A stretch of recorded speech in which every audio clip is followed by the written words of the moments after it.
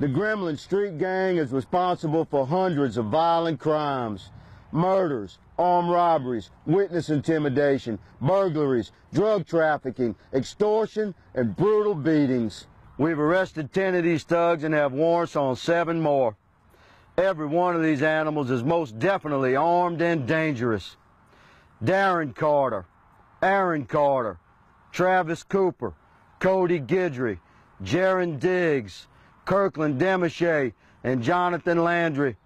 We have felony warrants for your arrest. You will be hunted. You will be tracked.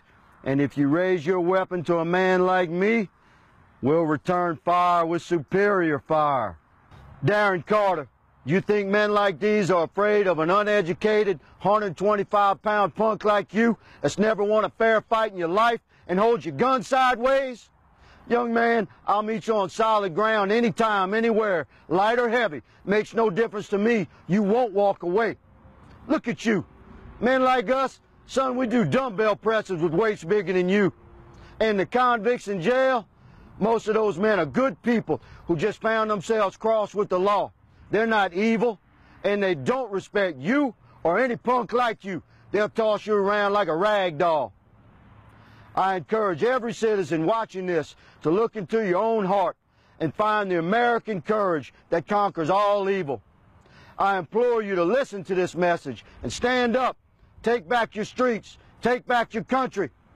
Come forward with information about these heathens that have terrorized your community. And for those who would use this message as a way to create false racial division in our country, take a close look behind me.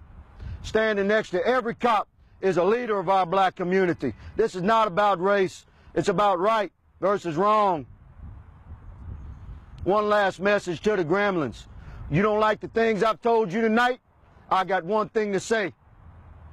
I'm easy to find. On behalf of the St. Landry Parish Sheriff's Office, the Louisiana State Police, the U.S. Marshals, and every cop and law-abiding citizen from sea to shining sea, I'm Captain Clay Higgins, asking every patriot to stand up, share this video, and send a clear message to the world. We're Americans.